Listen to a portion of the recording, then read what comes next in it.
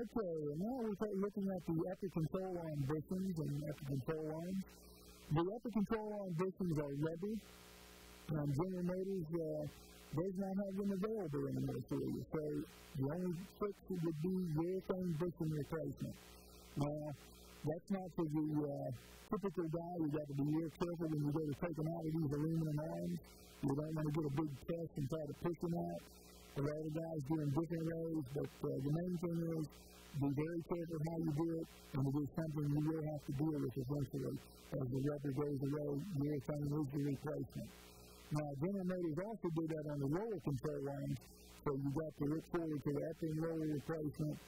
Since it does, uh, you know, have a really neat kit that does upper, lower, all the urethane in one kit. So take a real good look and we'll uh, discuss that in some text on how to remove those safely without damaging the control arms that uh, just about unobtainium at this point. So as we're in this area, we also want to end up here. We got some bushings down here, just like we had on the rear. We've got some bushings here that control the sway bar, the sway bar link, and these also go away on the. These by far are going to go quicker than the mount bushings. These do well, but nothing like the sway bar links.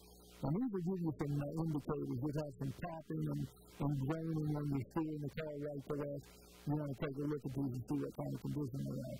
Now you'll notice that this bar is larger diameter than the rear bar. And that's because we've got quite a bit more weight up front.